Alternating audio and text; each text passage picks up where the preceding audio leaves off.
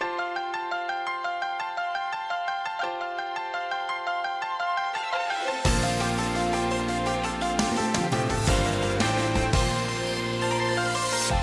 気なくついたため息は高い高い空の向こうに羽ばたいて消えてた。偶然のミスも笑ってシェイハー。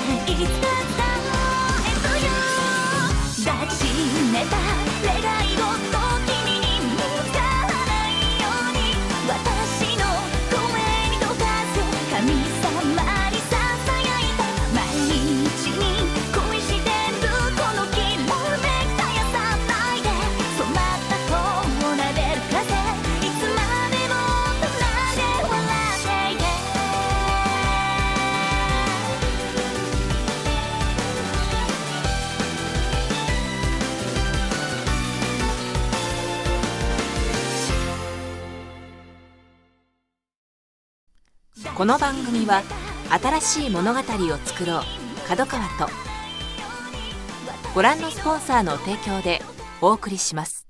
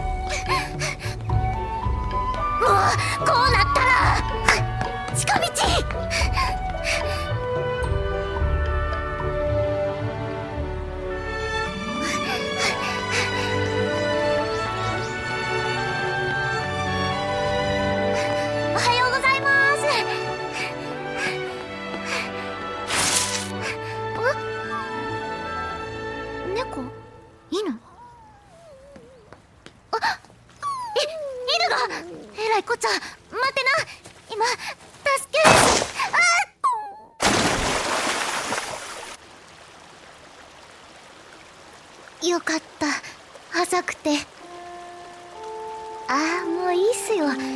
遅刻したって別にしなへんもんね。うんアホは風邪ひかへんもん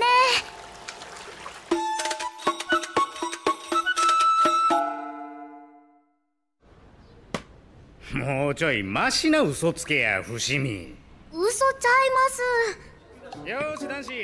チーム分け済んだら試合始めんで。あんたな。ないわほんまやのに。足怪我してたからハンカチ巻いてあげたんやけど。大丈夫？え返事してんでまるちゃん？もうえ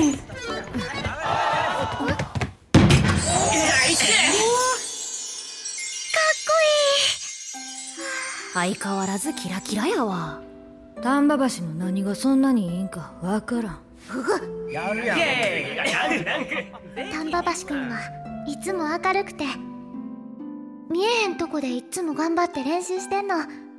私知ってんもん。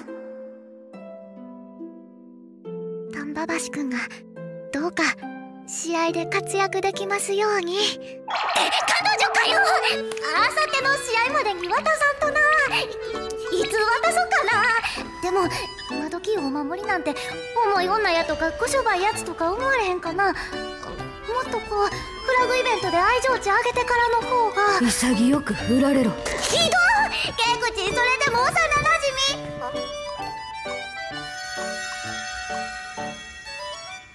さすが墨染めキラキラやな。ほな次の試合すんぞ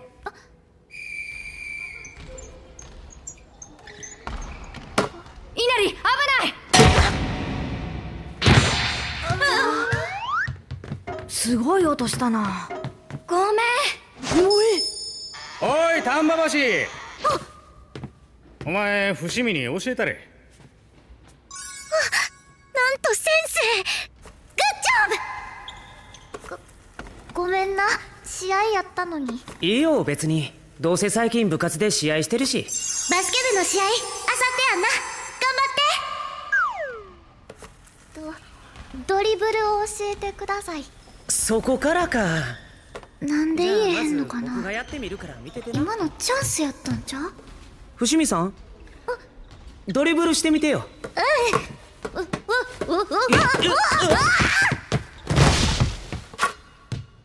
いたたごめん丹波橋が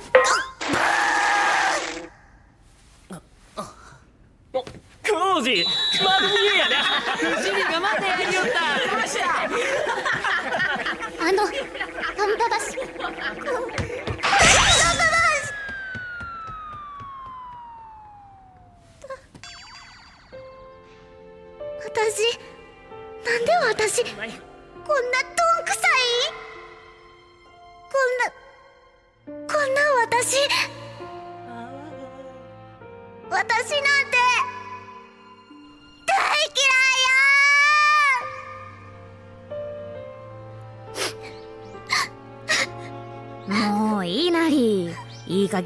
減元気出しや。そろそろ昼休み終わるし。嫌や今日はもうずっとここにもうなんで大事な時ばっかしいつもしくてまうんやろ。大事な時に限ったことちゃうと思うけど。ほんまにあんたは昔からいっぺんへこむとどこまでも。泣きやまんかいうっとうしい。あら領事すぎるやろ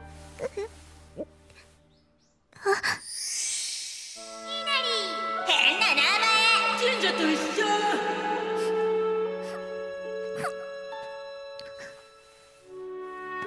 めっちゃ縁起いい名前やん。神様が守ってくれてはるみたいで。神様が。そっか。うん。もう大丈夫っぽいおよーしいい子いい子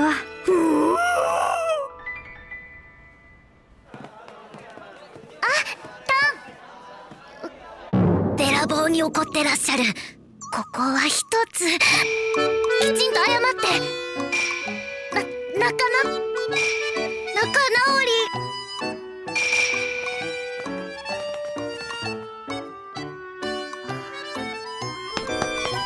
仲直りしな。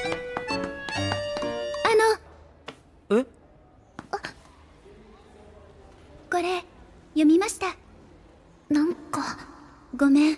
お返事ずっと待たせてもうてて。あいや別に急ぎってわけじゃ。えっとそれで返事は？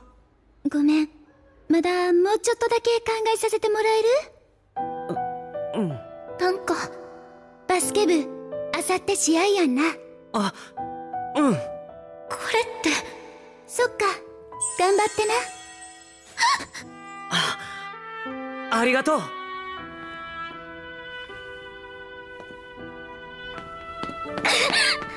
いなり丹波橋くん好きな女の子。かわいいかわいい女の子。私とは大違いの女の子。きっとすみぞめさんみたいな。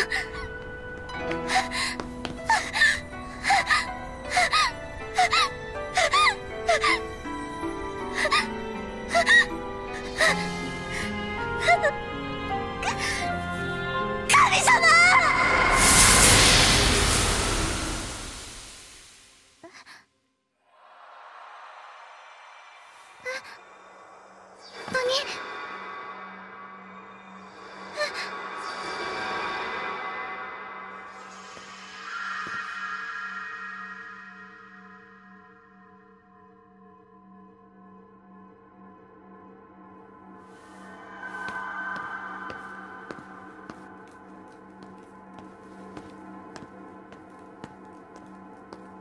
どこ行くん？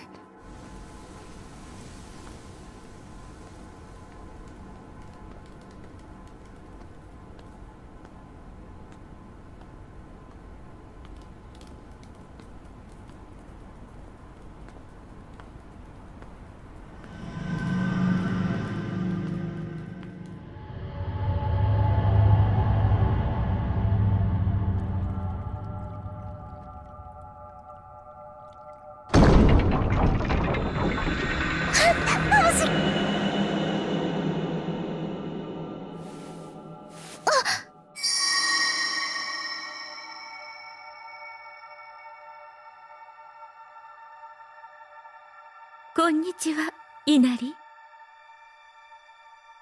私は羽化の御霊の神。この稲荷神社に祀られている出身君たち人間にお稲荷さんと呼ばれている神様だよ。神様？この子今朝のその子は私のお使いの狐なんだ。君に助けられたと聞いた。本当にありがとうお礼に君の願いを一つだけ叶えさせてほしい。お礼？私はそんな神様にお礼をもらえるような立場では。この子たちは霊力の強い人間にも見えないはずなんだ。けれど君には見えた。それは君がこの神社を幼い頃から愛してくれていたから。君は我々にとって特別な人間なんだよ。特別な先ほど君の心の悲鳴が聞こえた。だから今度は私が稲荷を助けたい。さあ願いを言いなさい。私は特別な人間なら私は彼にとっての特別に墨染さんになりたい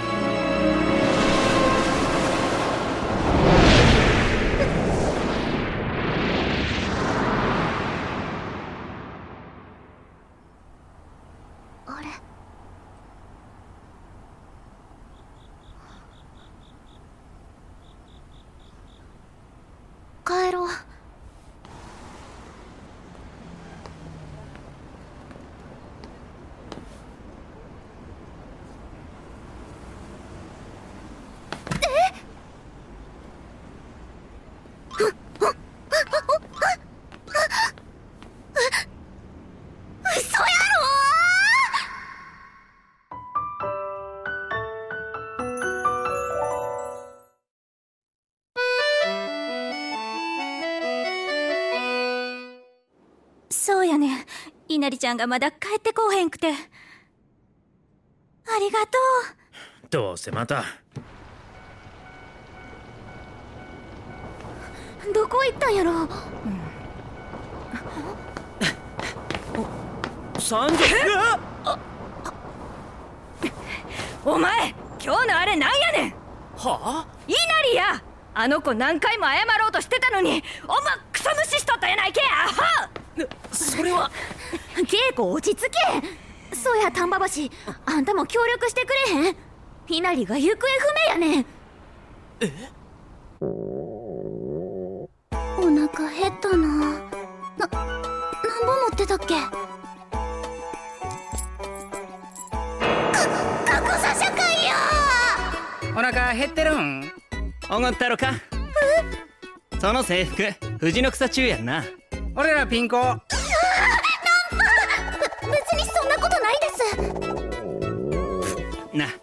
なんか食べに行かへん？結構です？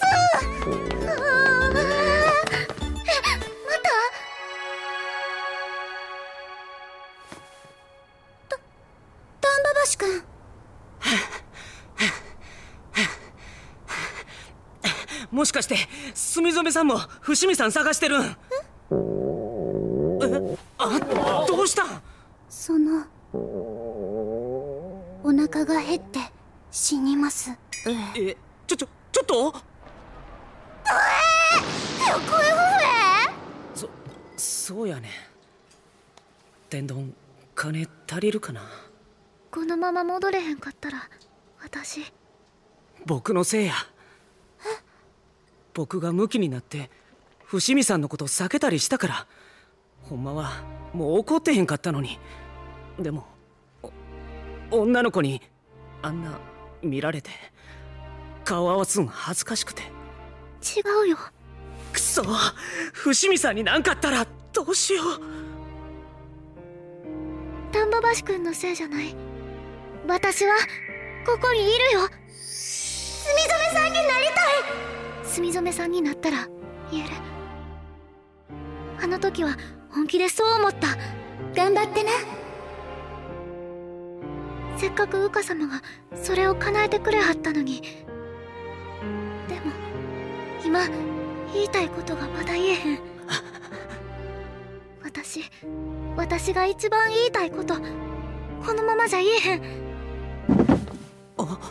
丹波橋君いつかちゃんと元の姿に戻れたら。あのえお金ちゃんと返します。ああ。伏見さん見かけたら連絡して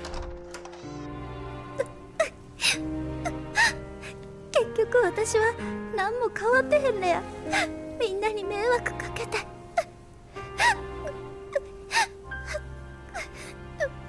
おかしいでしゅ。願いが叶ったのにちっとも喜んでないでしゅよ。バカな羽化様になんて報告すりゃいい。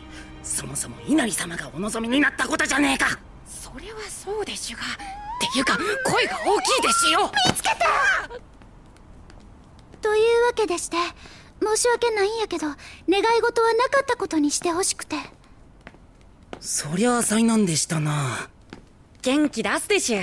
羽化様はお優しいから話せば分かってくださいましよ。大事なのは外見じゃない。僕は今君が何を思っているのかを知りたい。羽化様！君の内面に触れたいんだ。大丈夫。さあ君の全てを僕にさらけ出せそういうことか。私はとんだおせっかいを焼いてしまったのだな。そんなことない。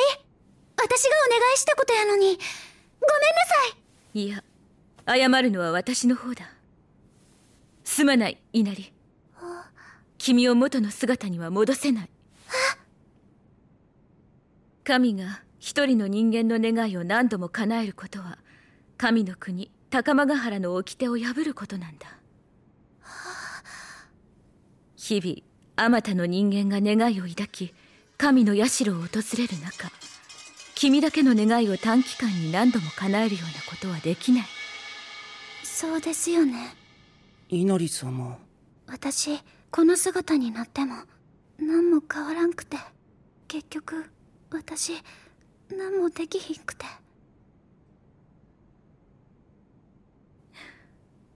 よしならばこうしよう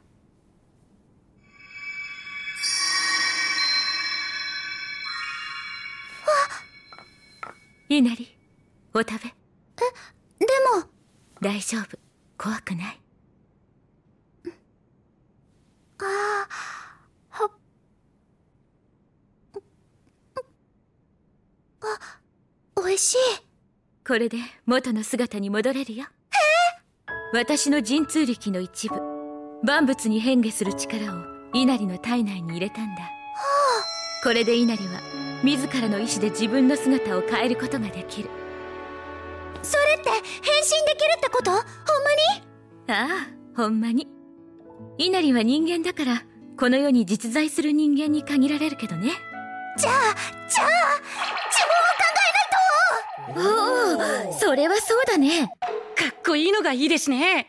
トランスなんちゃらって。魔法少女路線は？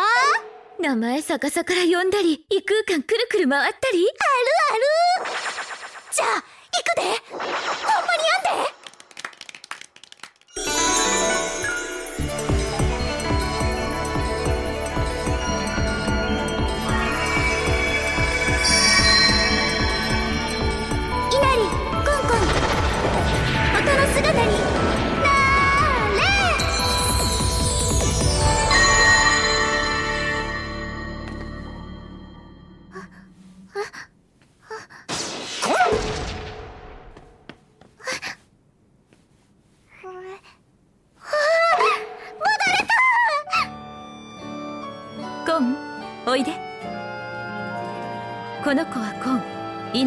稲荷のお使いにするといい。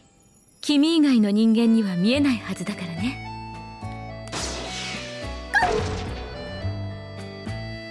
今朝は助けていただき本当にありがとうございます。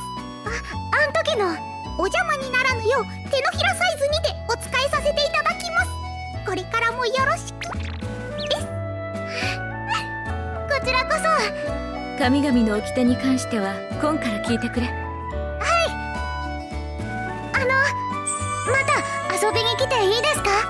もちろん。いつでもおいで。君は私の友人だ。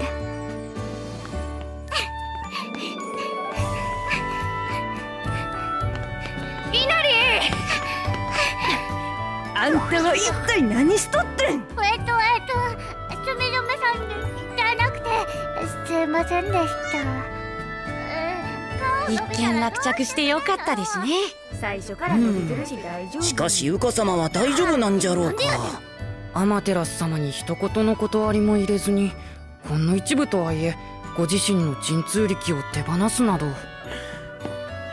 稲荷。お兄ちゃん。お前やっぱりここに。さっさと帰んぞ。父さんと母さんに心配かけんな。ごめんなさい。丹波橋にも連絡しとかなな。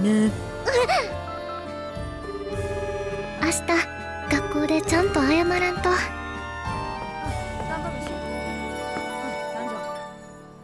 見つかったから。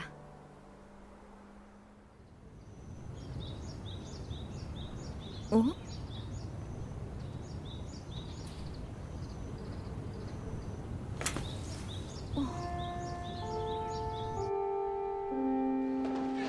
席つけえー、っと今日の欠席は丹波橋だけっと病気明日大事な試合やのに。